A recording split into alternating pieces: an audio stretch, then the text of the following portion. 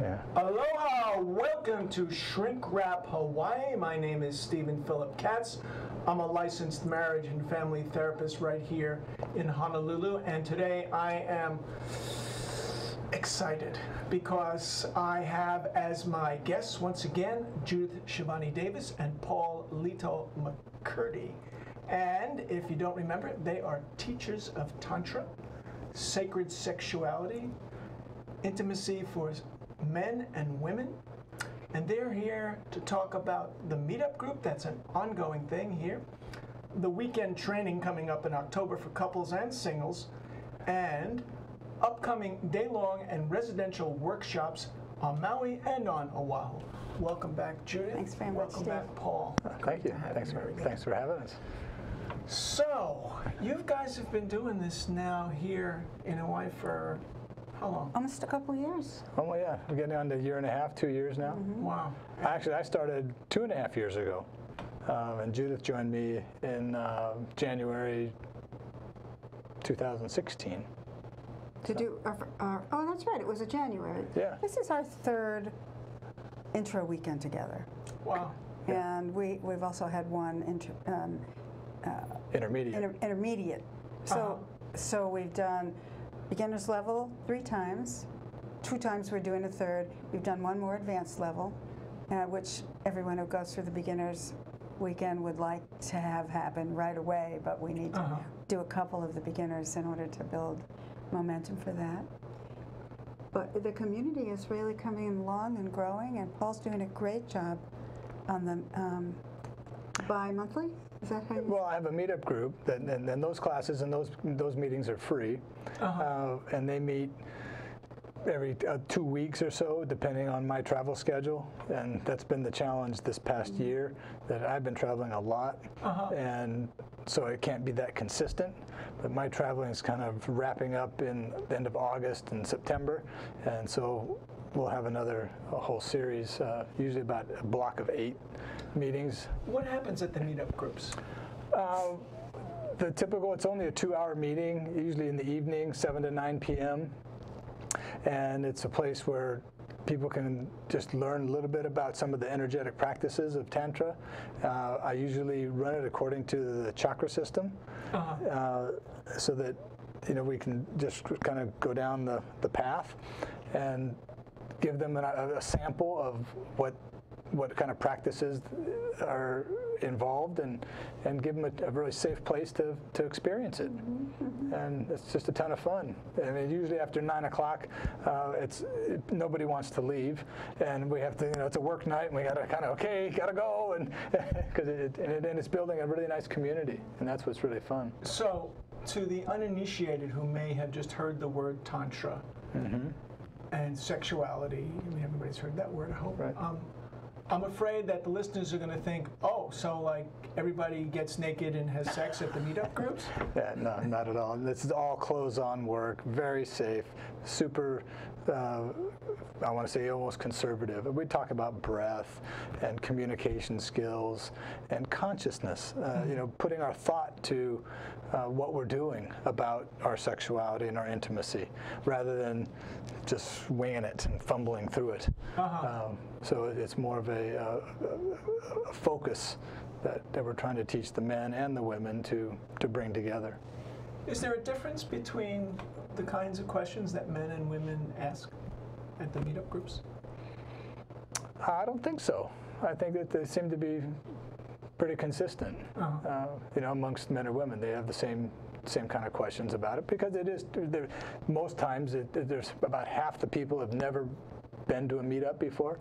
Right. And then there's a group that comes to all of them, and they because once Yeah. once they come, they, they want to keep going, and they go, oh, this is great, and they come back, Yeah. and and. I mean, I have a fairly small space that only holds 20, 25 people, and we're getting 25 people reserved for the meetups, plus 10 on the wait list almost every time now. Wow. So it's, you know, the, and I tell the people that have been there, don't bother to RSVP and take up the space on the RSVP list, just come. Uh-huh. Because enough people who RSVP don't show up. you know, they just don't show up for, you know, life gets in the way. Right, right. And, and, and, and so there's always a little room. And if by chance everyone were to come, well, we'd just fit in, you know, we'd Yeah. make room and make space and it would be fun. So, So- people who've never been, how would they find out? How would they find your meetup group? Meetup.com, Tantra Yoga Oahu. It's simple. Yeah, and just type that in and it'll pop right up and, and they're all on there scheduled. Okay. So, So, Judith, you had also mentioned to me that one of the things you'd like to talk about are uh, groups that you're going to have um, specifically for men and specifically Yeah. for women. Yeah. Oh, why separate it like that? You know, it's a really fun, safe way to try out some of your thought forms, possibly negative thought forms. You want to kind of take a poll, or, uh, the rest, the rest of the women. Do you find this to be true when? And what do you do if? And this is a much better, uh, when it's all women, they're Uh-huh. much more likely to uh, get together and tell the truth to each other and reveal what they're secure about, what they're insecure about. Um, one of the things I really want to do with this idea is teach, have a woman's day long workshop with a particular topic, and then use Paul to come in for an hour at Ah. some point to be Sort of a ask a man a question. ask a man a question sort of thing. And I will do the same for him when he does a men's group. So the women, so the men have a chance to ask a real life woman, "Oh, is this really true? Because I've always thought that. And what we're learning is that that is, uh, people respond really well to it. It's like I love that idea. Tra- it's like training wheels. Yeah. Um, because then the, uh, another exercise that we lead up to when we do more advanced co-ed groups is something we call the fishbowl, where um, a group of wom- women sit in the middle and they have a, a woman's group, and the men are quiet and just get to listen. observing on the outside, and um, they don't get to talk. You put duct tape on. The duct tape is for the women when we switch. The men rarely need Oh, duct tape. really? Just- we don't really use the duct tape. But the women are more likely to um, want to add, com- com- want to comment, you know? Uh-huh. when, So- when the men are talking. when the men are talking. It's an extreme Because the men have it so wrong. Men are always needing improvement. In fact, that's one of the interesting things that I've been studying this year is uh, the, the, the Alison Armstrong belief that um, women spend a lot of time trying to get their men to be well-behaved women. That's what the, they think the improvement should look like instead of actually finding out what is more likely natural for a man, what is the more natural behavior for a man. It doesn't look like a well-behaved woman, even though we'd like that to be true. I think that's some of men's fears. because we've been hanging it on them for so long. If we, if we, you know, put a little effort into finding out what really is the way a man thinks, um, and learn how to communicate to that, then we'll be much more successful with um, encouraging the man to actually be the man of our dreams. You know, that brings to mind, I, I work with a couple, and uh, in their last session, the guy was pretty angry. And one of the things he said was, um, and I, I'm not making this up, he really said, You know what the trouble is? She wants to wear the pants in the family. And you know, the feminist in me was very offended. uh, so I didn't say anything. I just listened and tried to get them both to talk some more about what that means. And did you find anything out about that? Or because what, what I hear is there's a disparity between the masculine and the feminine. Talk more. And, and, you know, each of us has a masculine and feminine energies. And you need polarity in the relationship. And this can flux, it can change moment to moment, but it always has to be polarity. It's just like two magnets. If you turn, put the two positive ends together, they repel each other, right? It's the same thing in a relationship. So if if she's bringing her masculine energy, the, wearing the pants in the family Right. constantly to him, it forces him to be in his feminine Well, he doesn't like going there. Well, that, that- that's exactly the point. He doesn't like going there. So they're, they're always in conflict because he's trying to, he has to then step up his masculine even more to Right. overpower her, Right. and then it's battle. Right. A woman will never really win That- the man-up battle. Yeah. Uh-huh. They'll never really win. Right. They'll just create conflict. A, a dear friend of mine, Helena Summer, uh, says, when a woman womans up, a man will man up. So what does that mean? Uh, that means that she creates that feminine polarity. When she when she turns on her feminine, the man will respond to it. It's much more powerful, in my opinion, for a woman to ask for what she wants or from the feminine perspective. Because what men want to provide men want to help. We want to support the woman. That's that's what i want to do. I want to be there. Right. But if i'm getting fought about it i'm getting thumped about it Right. i'm, I'm going to resist Yeah. but if I'm asked from a feminine perspective, I'm going to want to do it, whatever that might be. This is an energy. So, I mean, this is, and this is the bridge to Tantra because what we're talking about is the energy of masculine and feminine. Now, it's not so that there's no no good time for the men and women to neutralize each other when you're in it, let's say you're in the kitchen really wanting to cook together Right. you both want to be in more of a neutralized place because you're cooperating and doing things together Right. you know and that's Very difficult for some couples be, to cook in the kitchen together. for some couples, it's better to create the role. Which yeah. one of us is in charge and which one of us is not? Right. And that's a better a better way for some people. But Yeah. maybe when you're there are activities where it's really great to neutralize each other. It's very relaxing. Some people spend their entire relationship life in that relaxed place. Wait, what does that mean to neutralize each other? That other? means it's relaxing, there's not a lot of charge, there might not be a lot of sexual energy, but there's a lot of contentment. right. You right. know, and We're it- cooking. We're cooking, although honestly, that's not always the most peaceful, peaceful place to play that game. Too many sharp objects. But the, the point I'm trying to make is learning what the natural state of a man's energy is and the natural state of a woman's energy is, is a lot what we do in Tantra. Hmm. We don't, it's not, and it's not man, woman, it's positive, negative. Because we each have that. We, we, So we each have both. we each We have each both. have both. Yeah. Right. But I'm more, I'm more likely to be more comfortable in the negative energy of the feminine. The man is more likely going to be more comfortable in the positive energy of the masculine. So when we bring these ideas into our body and try to learn from the energy of it, I'm going to be a happier person if I can come um, from my feminine energy in my body, not my mind. You know, so Right, but so many of us are not in our bodies. And that's what Tantra does. We put them, you know, so another thing to tell your couple who are like this Right. is yab yum. Remember what yab yum is? You sit, you sit in. Yeah, yeah, yeah, But yeah. basically, if you put your bodies together and breathe, the eh, just sitting together. This is we could call this putting your bodies together Uh-huh, uh-huh. and breathe.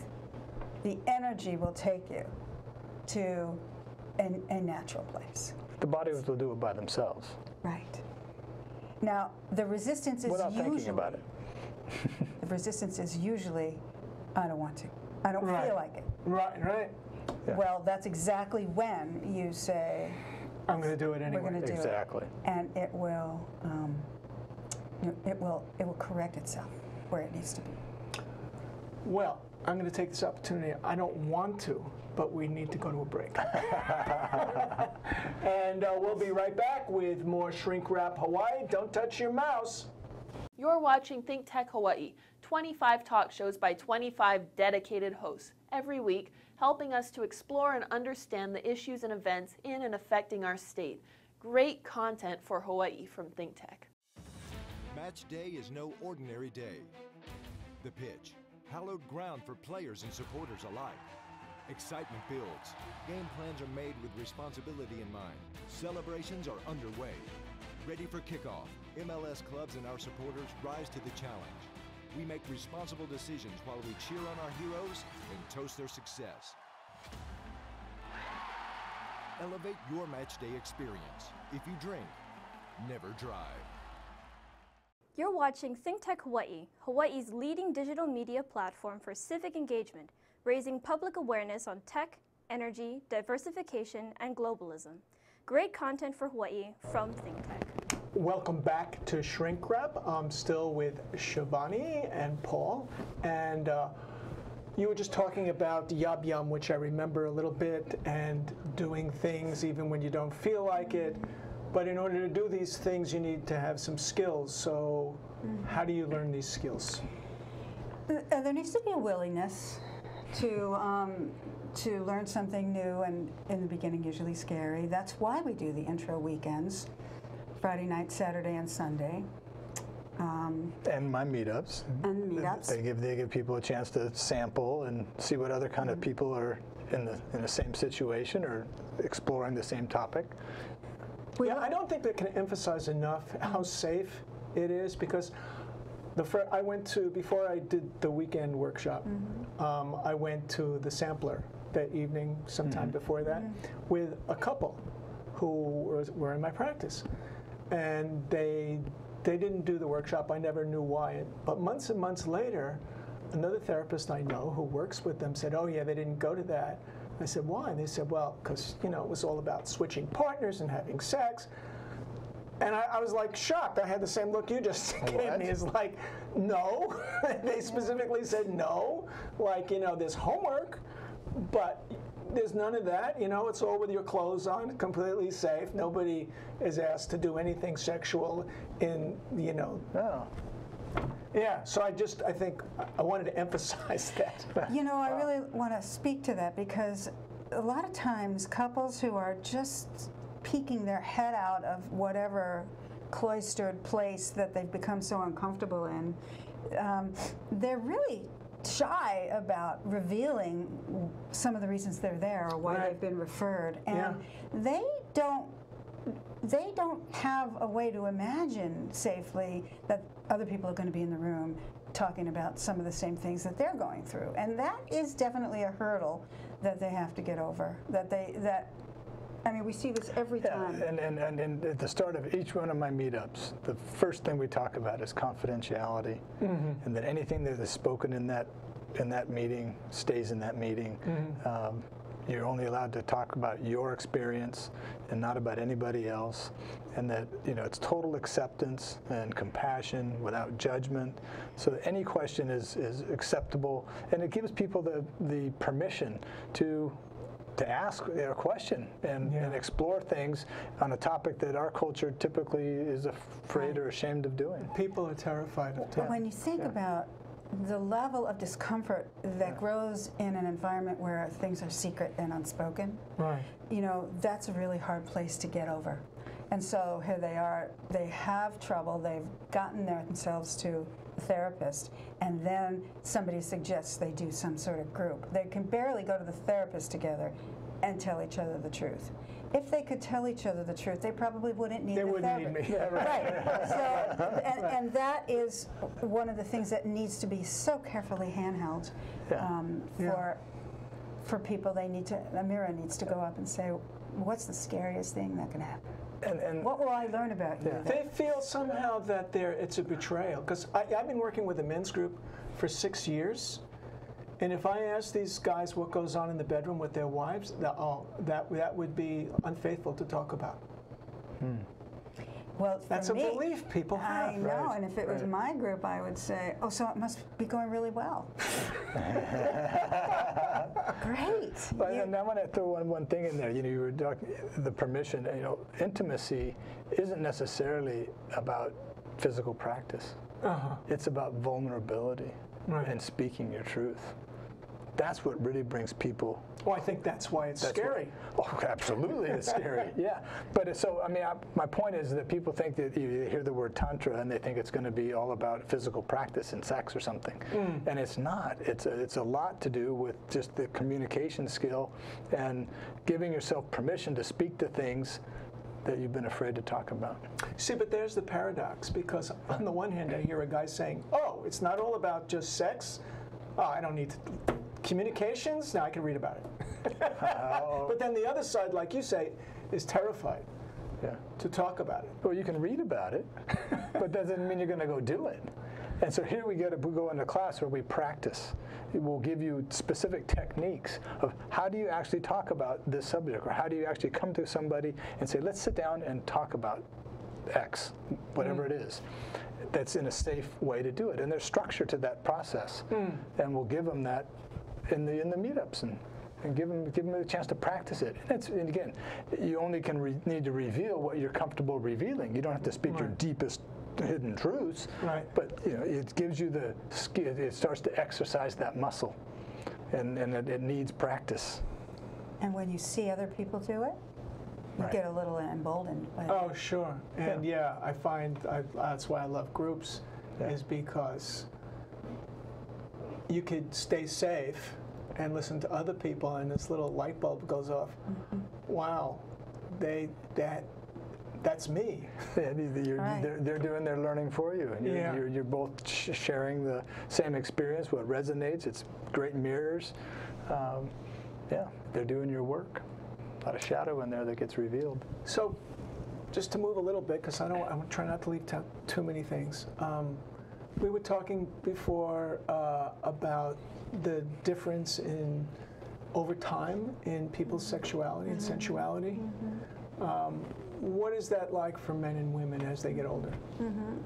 Well, one of the things it's like is their brain changes and their hormone um, profile changes. And so you can, you can establish an idea about what your sex life should be out of your 20s and your 30s. And here comes your 40s and your 50s. And, and it's not the same thing. And so you're, you're, in, you're kind of in conflict with yourself you're in a, you're in the past remembering and you're not really being present for the um, expanded capacity that your heart has as you age as opposed to your lower chakras which is all about action and power and passion you know we we learn as we get older how profoundly important connection is. You see you see me pointing up here. Connection is versus what we're doing with our bodies mm. together. We, we mature and we get better skills and re- relationships become deeper and more profound. And so as you age and you go to something like a meetup group and you look around you realize wow i'm not the only one who's changing. It's a different world out here. And they meet their tribe hopefully And in the, in the meetup, I'm having people in their 20s to their 70s. And it's really, really interesting to see how so much overlap there is amongst everybody. Uh, Oh, so you're saying and- you're seeing more similarities than differences? well, there's differences, but they, you know, but there are similarities, and some of the same issues arise uh, with relationship issues, uh, and then each of them gets to see that you know the young people go you hear what these 70 year old people are doing. They're like, wow. really? That's like, oh boy, you know, I mean, I can keep doing, you know, I can. This is this is what I look forward to. Yeah. And and, and there, so there's there's a lot of, of learning that goes on Yeah. amongst the age groups. It's it's a beautiful thing, you know. It's like a village. It's like all of a sudden Yeah. you're creating this village. When do when do 20 somethings have a chance to uh, you know ask a 60 year old who's not their mother something and they don't really want to know their mother's answer to certain Right, questions. They right. want to meet other people. You know, Yeah. it's really a beautiful thing. Wow. So that's what these, you know, these groups. What I'm finding so satisfying is the the commonality leads to a mutual learning um, for each other. We're going to be having um, preview nights, which actually give an example. Um, of what the weekend is going to be like and what, who would it be for and what is an example of some of the things we're going to do uh, as, as when the summer's over we're going to have those little bit September September, October. yeah, maybe one in maybe one in August. That might. No, probably September. Yeah, So What where should people go to look for when that is?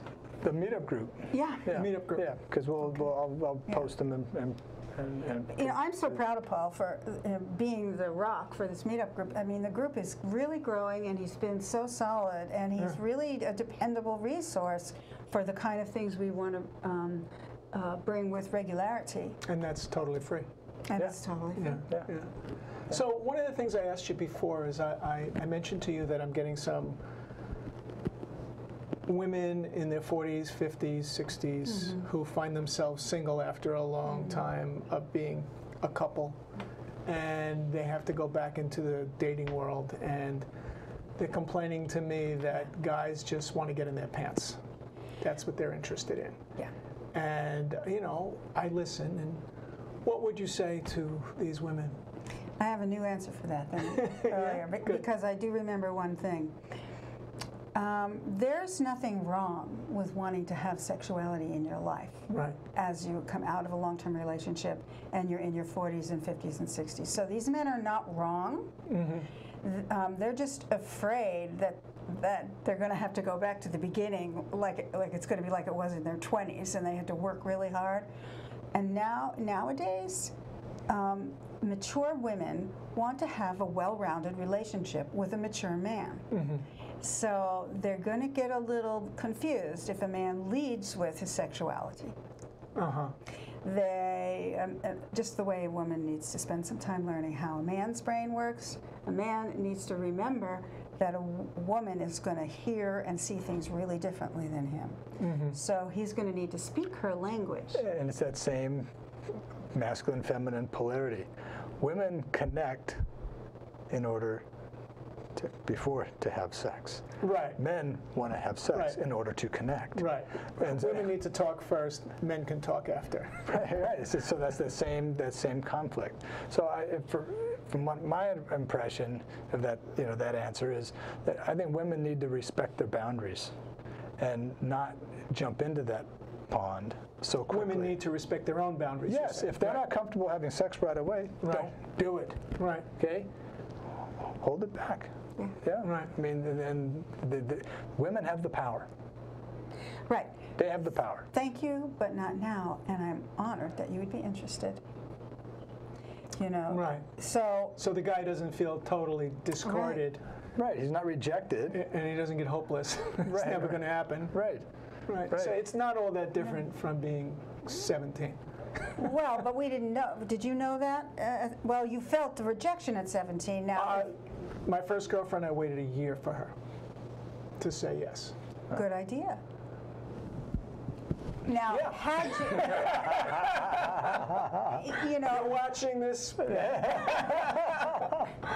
However, if you, if at 17, someone had given you a little handbook about um, uh, complimenting a, the way a woman looked, or how nice her perfume was, or um, how I mean, you don't think I was doing it? I, think I was don't. doing I don't know what you were doing, but I, I think there are 50 year olds. I think there are 50 year olds that don't do it. Yeah, they don't plenty of clueless realize. guys out there. They don't realize that if they give the women a chance to lean into them a little bit, Uh huh. you know, then the women are going to feel a lot more safer. So it's a bit of a tango. It is a little. Man leans back, the woman will come forward. Yeah, it's a little bit of a tango. It's also a little strategizing. Women are strategizing all the time. Men call that manipulation, and it isn't. Right. You don't believe me? I can No, I do. It's, it's about feeling safe. I don't think that's a manipulation. It's to strategize. It's about letting trust grow. That's right. And so if a man, wouldn't it be great if a man came to a situation and said, you know, I, I'm not, uh, you know, as much as I really love having sex, I understand that that's really not what's going to be on the table right away. Right. Defuse, Right. you know, that Right. disarms, like, okay. Right. But And if, she's and- and- thinking, And if a man, oh, if a man skedaddles off after hearing that, he wasn't the right guy. So they're telling me this is the time to wrap it up. Uh, as always, the half hour is just what. It and uh, thank you so much for coming on the show. I really appreciate it. And um, so people go to Meetup, and then they go to The Tantra Yoga Oahu. Tantra Yoga Oahu, and they'll Right. find out about the October dates, and they'll find out about where to go for the meetups and all that stuff. and all the new classes we're going to be having on Maui. And the new classes on Maui. Okay. Thanks so Thanks much. Thanks again for coming. Yeah. Thanks for having us, Steve. It's always Appreciate fun. it. Thank, Thank you. Yeah. And join us next time for Shrink Rap. Aloha.